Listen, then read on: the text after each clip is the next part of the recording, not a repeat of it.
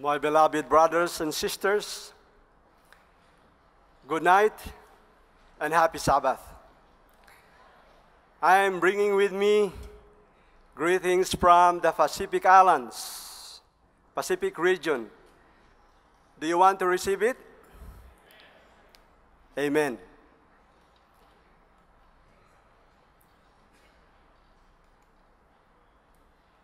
In the book of Isaiah, chapter 11, verse 11, it says there, And it shall come to pass in that day that the Lord shall set his hand again, the second time, to recover the remnant of his people, which shall be left from Assyria, from Egypt, from Pathros, from Cush, from Elam, and from Shinar, and from Hamath, and from the islands of the sea. We remember, brethren, that the Lord is gathering his people, especially in this closing event of this world's history.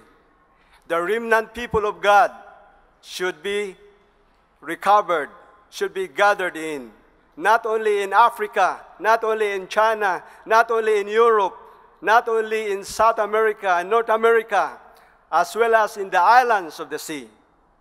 I would like to tell you, brethren, that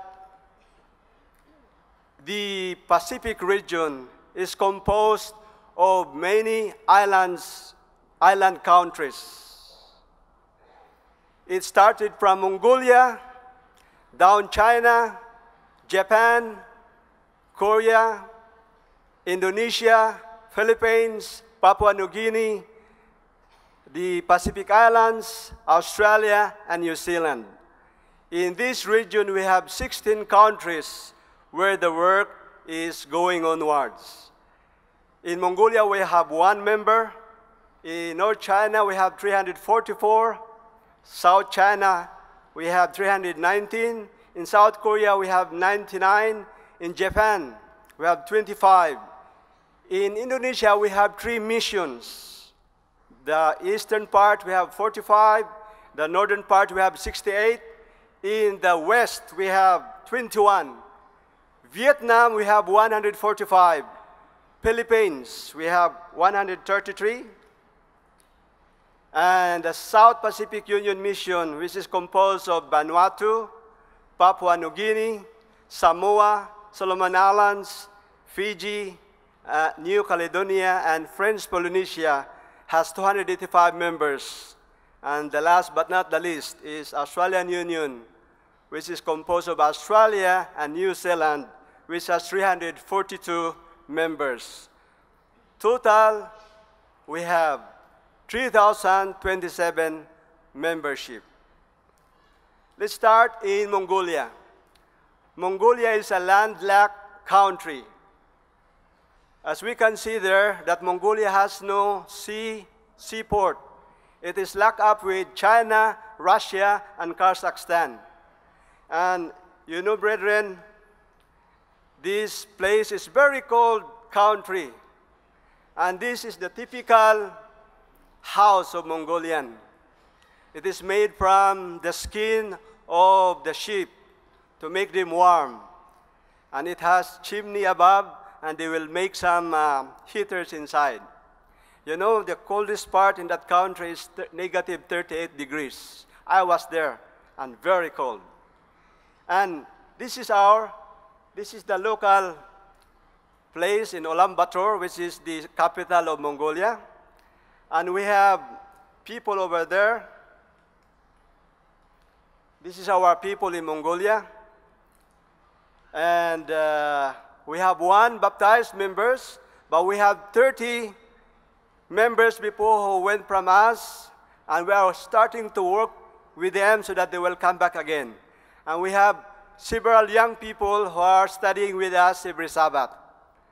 Now, this, the left side is the new Bible worker, a minister, I should say, and the other one is from uh, Moldova just finished his um, assignment over there, and this brother received his uh, work in Mongolia.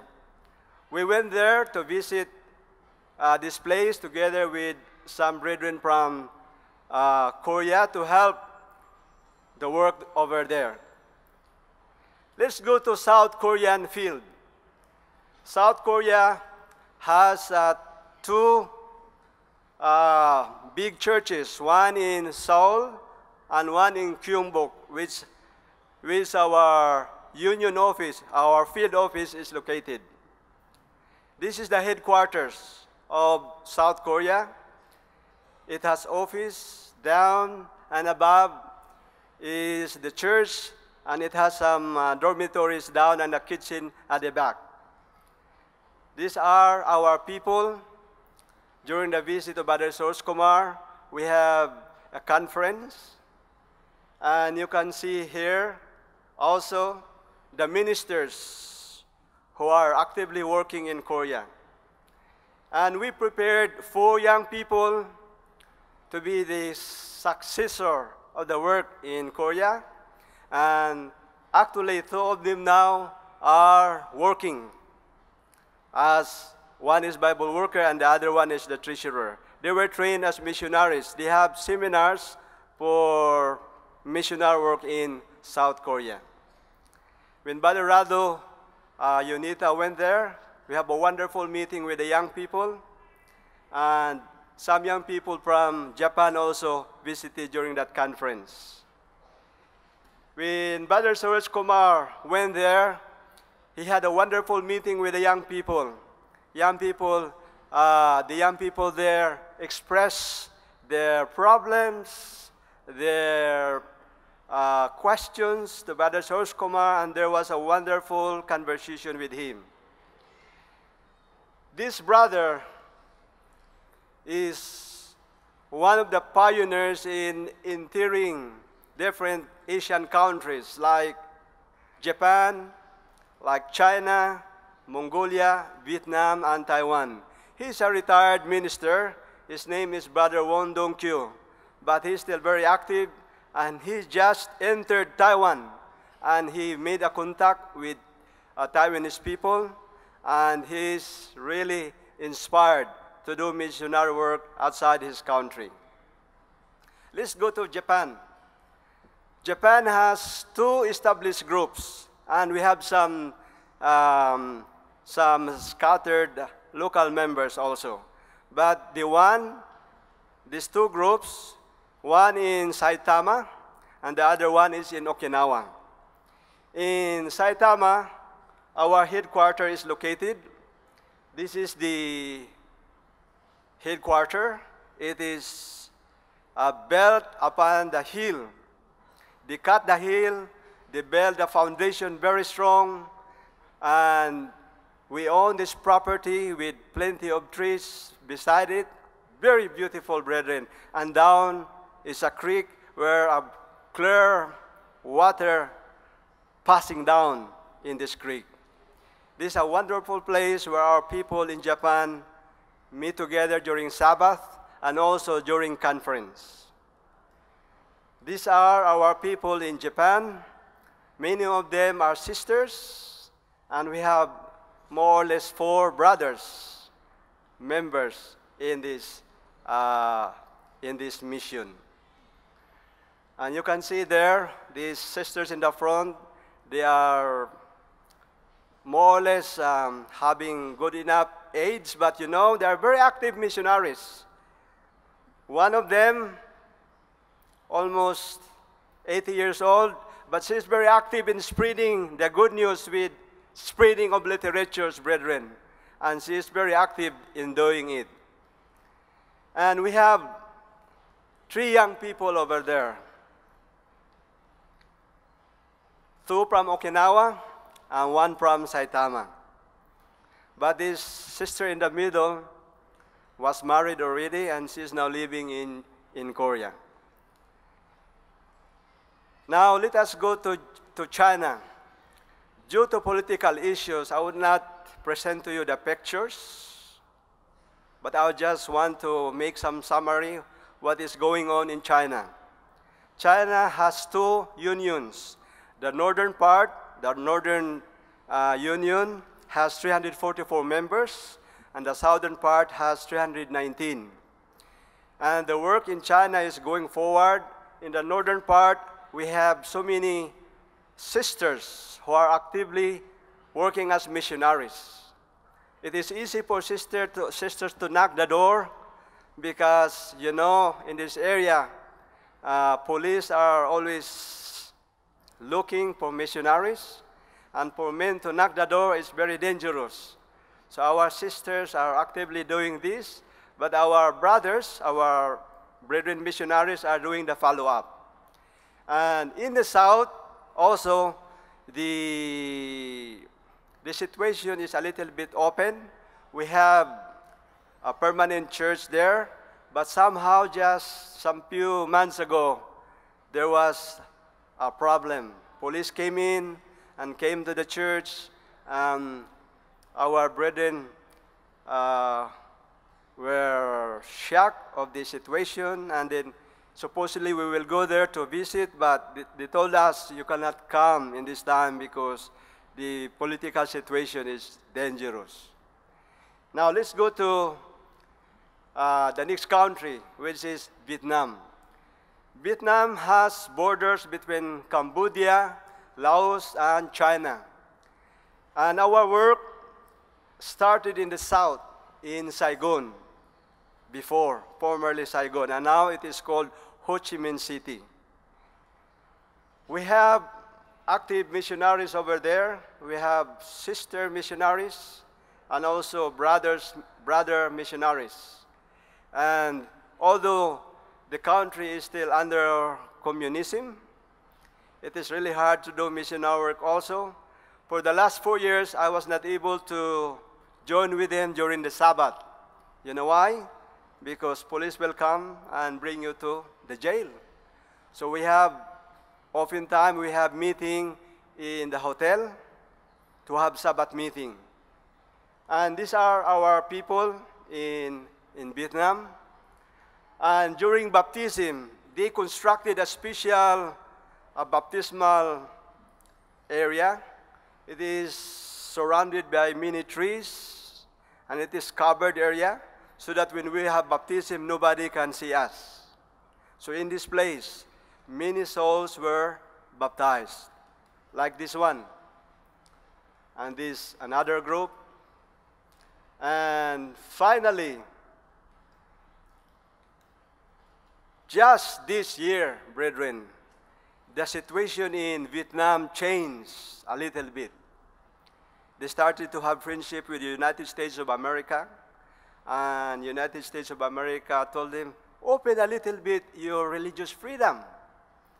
And so they agreed and opened it a little bit. And you know, the Jehovah's Witnesses were flocking to Vietnam, the Mormons coming there, even the president of the Seventh-day Adventist Church went there and to have a public meeting. Almost 3,000 people came and witnessed his public meeting. And I told the brethren, why were afraid? These relig uh, religious organizations are coming to Vietnam. Why not start? Do publicly the work. So I will show you. This is the result of our activities there in Vietnam. One day when I visit there, I told them, let's go and register the church, not as a church, as a foundation. It is Health, Education, and Charity Foundation of Vietnam. And we went there, and the government officer, although he cannot speak English and somebody translated me, was so very kind.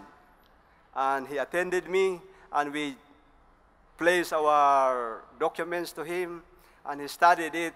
And after four months of investigation, they give us this permit. And now our foundation has the approval. We are waiting only for the license to operate. And just the last visit in July, I was so very happy, brethren. You know what happened? One day, one Sabbath, I was not there. The police came inside the church while they have services. And everybody were shocked, afraid, trembling. But you know, the police said, Don't be afraid. Why? Because I came here because I was told by the officer to examine how true it is that somebody have meeting here as a church. I want to see if it is true. And they said, yes, we have meeting here for the last 15 years. Yes, we know it. And now go to the government and apply for a permit. Everybody were happy, brethren. So the, the next two days after Monday, they went to the government and applied for a permit. And this is the permit, brethren. And the permit was given to them that all our local home churches, because we have five home churches, can meet only in one home church. And this was the first Sabbath meeting that I attended with our people. This is the home church that we have now.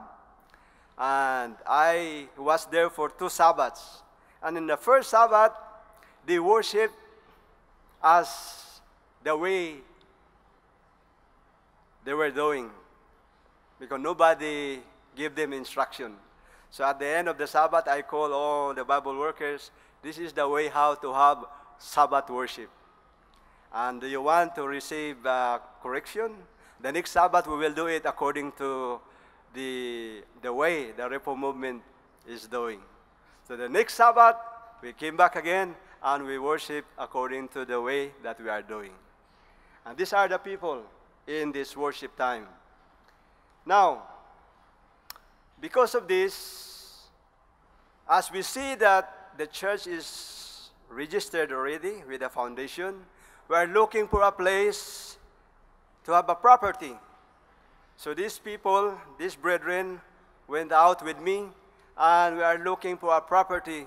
And finally, we found a place, beautiful place, with a coconut plantation, around half an hectare, full of coconut, full of fruit trees inside it.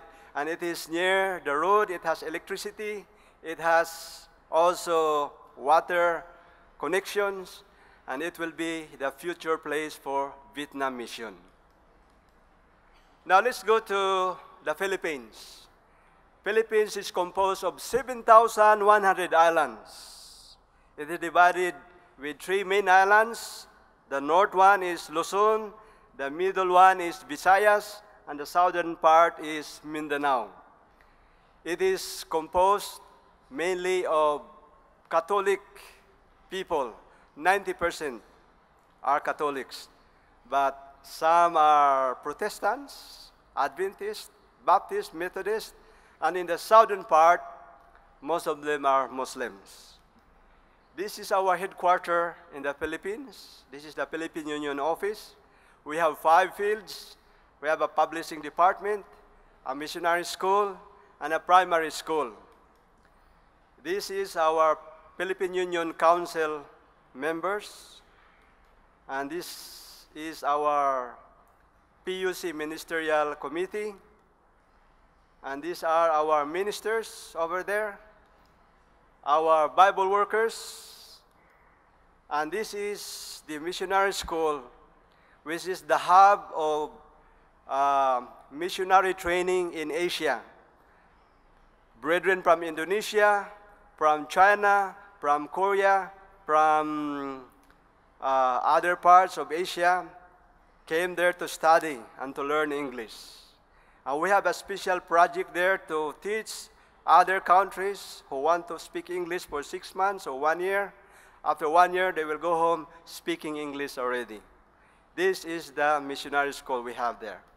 And this is the church of the missionary, missionary school. Uh, we have a farm over there to support the students. And uh, we have also uh, plantations of lemon. And at the end of this property, we have a river where we get the water to supply for the farm. And there was a group, there was uh, young people who there were young people who graduated there in that missionary school, and they were prepared to become medical missionaries, colporteurs, and Bible workers. In the other part of this property, we have the primary school from kindergarten to, to uh, grade 6. And this is the covered court in this property. And during the graduation of the primary school, where Brother Selva was there together, and our people in the Visayan region, Bible workers and ministers, and our brethren, Bible workers and ministers, and lay missionaries in the south, in Mindanao. Brother Dragan Ivanov went there to have a medical seminar, and Brother Dragan Ivanov is planning to have a sanitarium in the Philippines, and it will be the center of medical works in the Pacific. And also, in this place, the Philippine Union Conference is planning to have a tertiary education to offer for our young people as well as for another countries. When Brother Silva went there, he made a seminar on Christ righteousness, and he was able to baptize a group of elite people who are working in the government, who are working in the companies, as well as they have their own businesses. And recently, a brother from Germany donated some amount to buy a property in the Philippines. This is the property that was bought, and this will be the new Philippine Union Conference site. We started to build the pastoral house. There will be two pastoral house and a uh, union building in this area. Now let's go to Indonesia. Indonesia has three missions. It has 18,307 islands. 18,307 islands. And one of the island is North Sulawesi, which is the lone Christian area.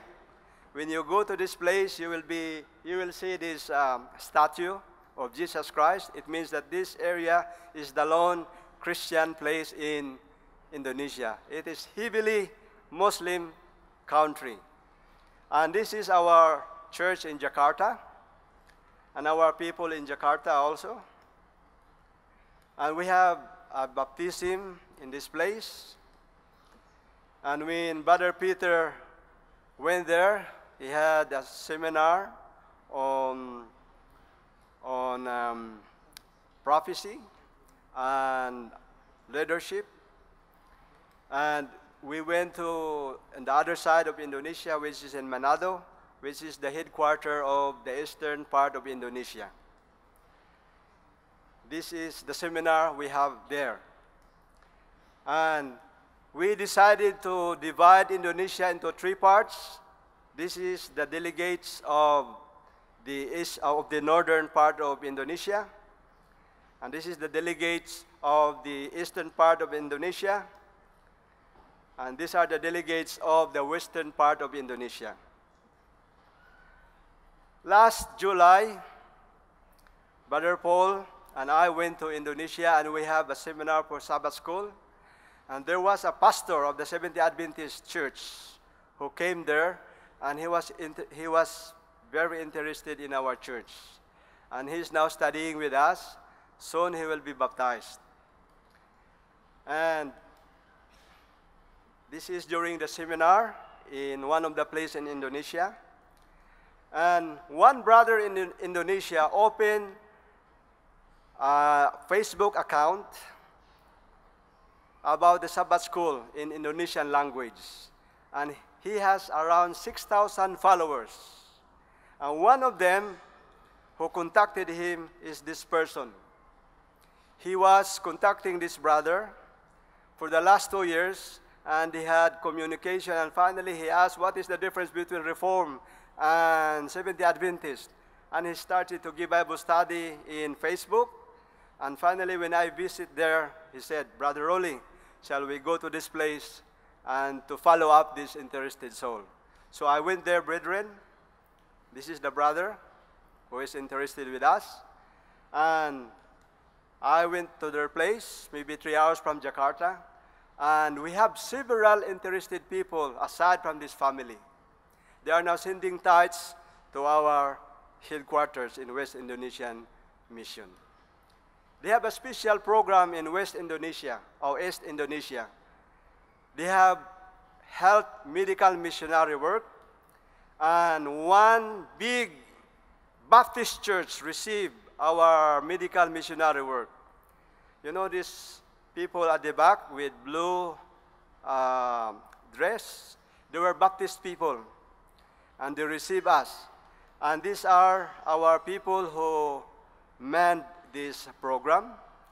During the night, they have seminars on herbal medicine, and in the day, they have practical consultation with the people and teaching them how to prepare medicine. And they culminated their program with cooking demonstration. Almost 300 people came in this program.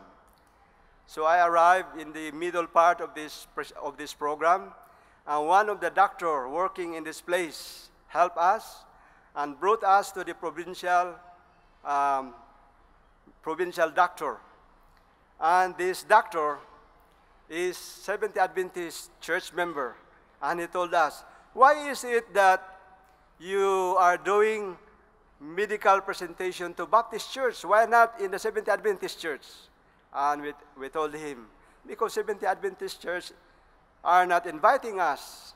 She said, if you come back again, I'll be the one will bring you to the Adventist church and help you to make medical missionary work in our church. Now let's go to Australia. Australian Union has two countries, Australia and New Zealand. We have here New South Wales Field, West Australian Field, Victoria Tasmanian Field, South Australian Mission, Queensland Field, and New Zealand Field. Our headquarters is located in Schofields in Sydney. And this is the building.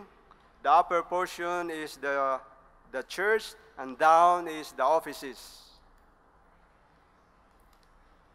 And also, we have a convention area, a camp meeting area in Elim Heights. We have a beautiful place for conventions, for, for youth congress, for reorganizations. And this is very peaceful area in nature. And this is the church. And uh, we have a reorganization meeting last 2013. And uh, during also last December, we have Youth Congress, and they choose to have a wilderness wandering for three days. They sleep in the, in the woods. Somebody brought food there in the area. And uh, during morning, mo morning time and evening time, we have worship in, in nature together. We brought our camps, our, our tents, and sleep there in, in nature. And it was days wilderness wandering. So many young people joined with that, with that program. In Australia, the most effective missionary work is a cooking class. We can see here in Schofield Church, every year we have program in uh, making cooking class, and 70 to 60 to 70 people are regularly attending this cooking class. They prepared menu and special um, organic and vegan menu was presented during this cooking class.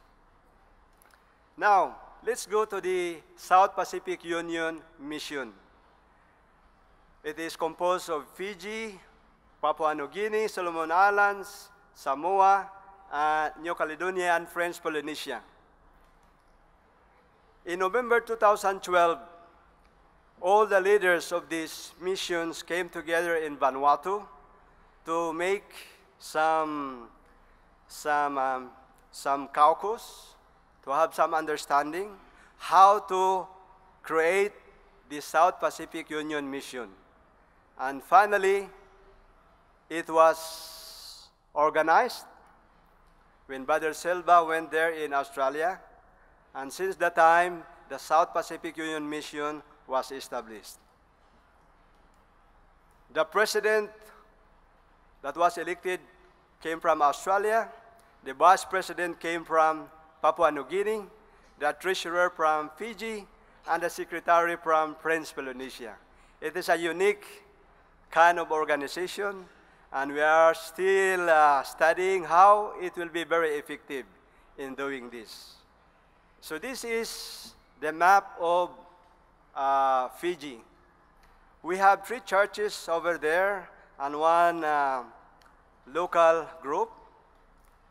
And it is the place of one of the purest water in the world, in this mountain. The spring of this, uh, of this pure water came from this mountain.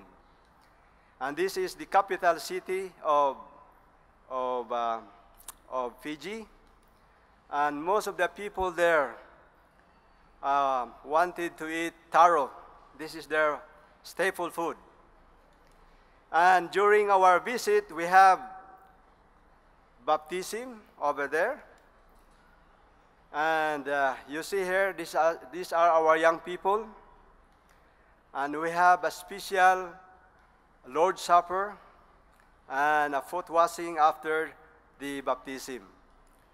We found out a place for the headquarters of Fiji, and this is the land.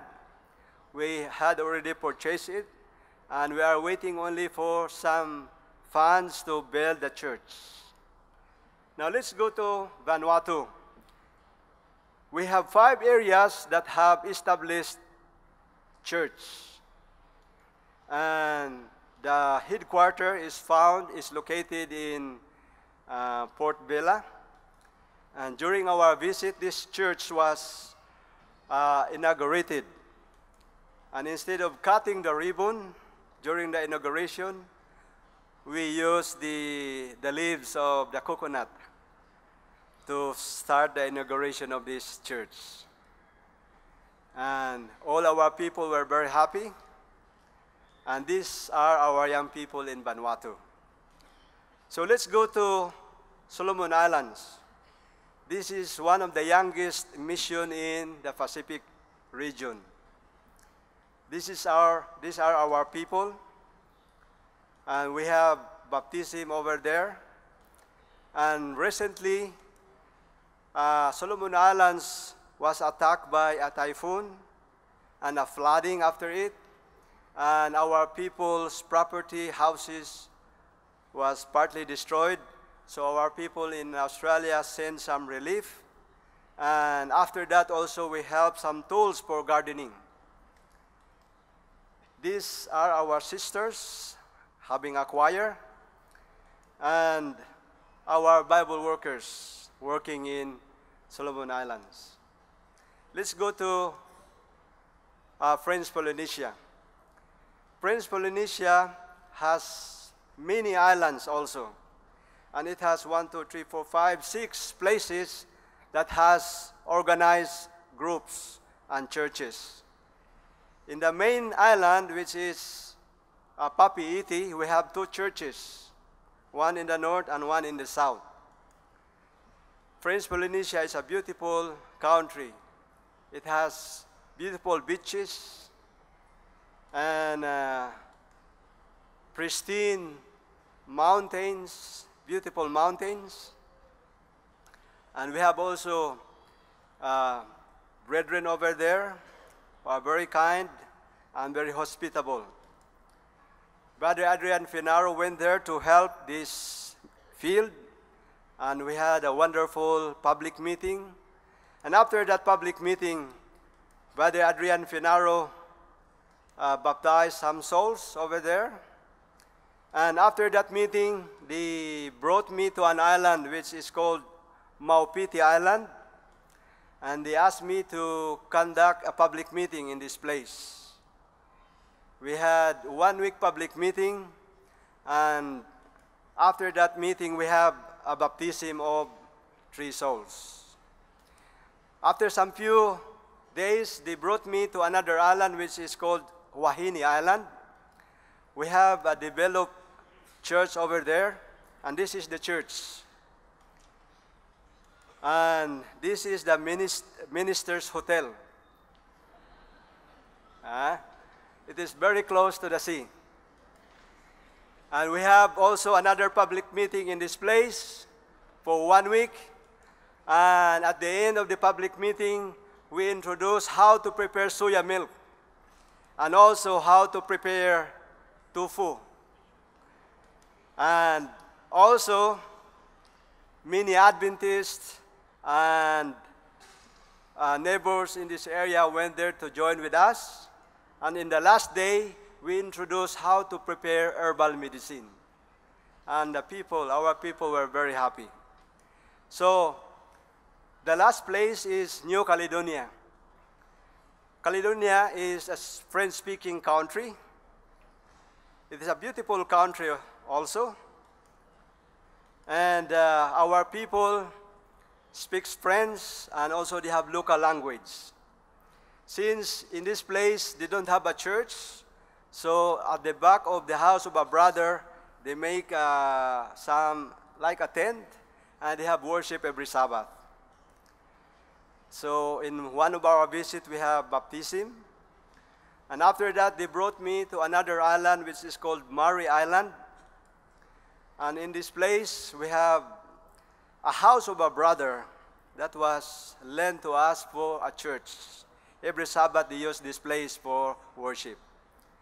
And in this visit, we have some uh, seminar on organic farming. So as I look around, there are many vacant area and they don't plant vegetables. They, they buy vegetable in the market and they don't have vegetables in the yard. So I think to myself, why not teach these people how to have organic gardening?